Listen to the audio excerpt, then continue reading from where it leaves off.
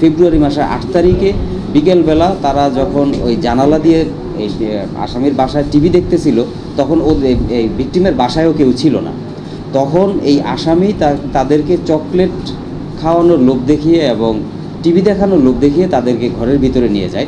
আসামির বাসায়ও কেউ ছিল না। তো তখন ভিতরে নিয়ে গিয়ে টিভি রুমে রেখে তারপরে সেখান থেকে সে একজন একজন করে পাশের রুমে নিয়ে গিয়ে সে এই অপকর্ম করে পর্যায়ক্রমে। এবং সেখান থেকে তাদেরকে ভয়ভীতি দেখিয়ে যে যদি এই কথা কাউকে তোরা বলে দিস, তাহলে তুমি কিন্তু তোদেরকে মেরে মাটির নিচে পুঁতে ফেলবে। এরকম হুমকি ধুমকি দেওয়া হয়েছে। তো পরে বাচ্চাগুলো যখন অসুস্থ হয়ে চলে আসে, কিন্তু তারা ওই তাদের বাবা মায়ের সাথে বিষয়টা শেয়ার করে। বাবা মায়ের সাথে শেয়ার করলে তারা বিষয়টা এলাকার লোকজনের কাছে জানায়, তারা বিচার প্রার্থী হয় এবং আমরা বিষয়টা তদন্তাধীন আছে যে যে কারা এই আসামিকে পালায় যাইতে সহায়তা করেছিল।